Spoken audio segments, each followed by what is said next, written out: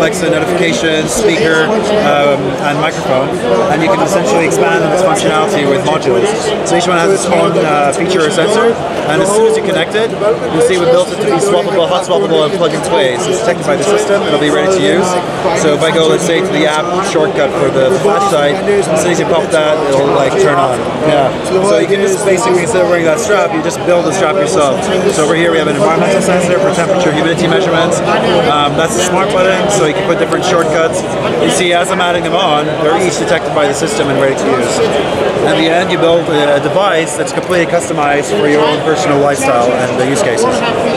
How many modules does that? So we built about six in-house already. Uh, by the end of this uh, month, we're actually going to uh, put out developer kits so that anybody uh, who has a really cool feature sensor can start building it into a module with us.